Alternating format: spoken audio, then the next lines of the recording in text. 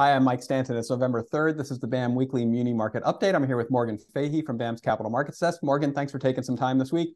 A very busy week. Uh, we saw volatility come back, all moving in one direction. How did the markets respond and what were they watching? Sure. Um, so the market this week seemed to be focused on the Fed meeting that took place and also on the non-farm numbers that were released this morning. Um, the Fed held interest rates at a 22-year high for the second straight meeting, and they said they were going to continue to monitor, you know, economic growth, inflation data, kind of prior to that final meeting of the year in December. Um, it seemed like the market took the tone as dovish, and we saw Treasuries rally.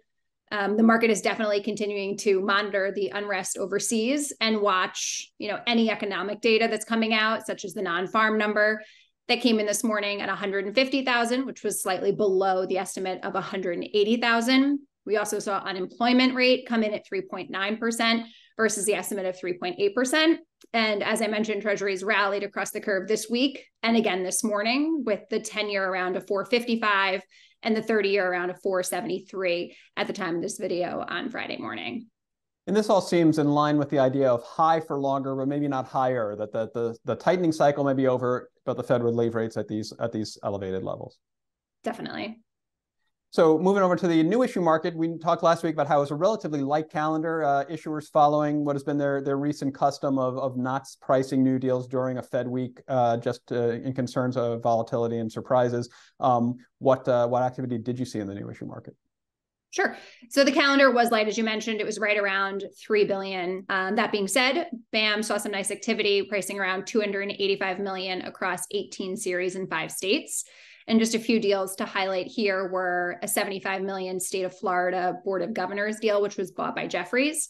And then Raymond James priced a city of Pearland, Texas, which was around 80 million across four series. Um, and then munis just for the week, you know, we continued to see outflows, strong bid wanted activity.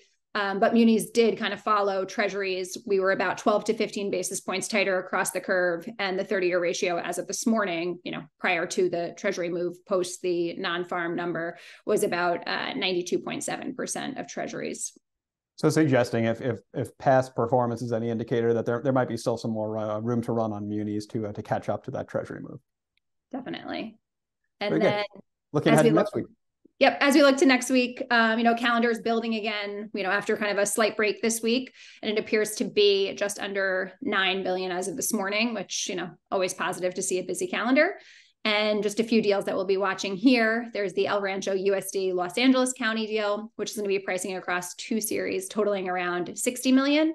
And then a 31 million Upper Trinity Regional Water District in Texas, which is going to be priced by PNC. Great. Thanks for your time this week, Morgan. We'll talk to you soon.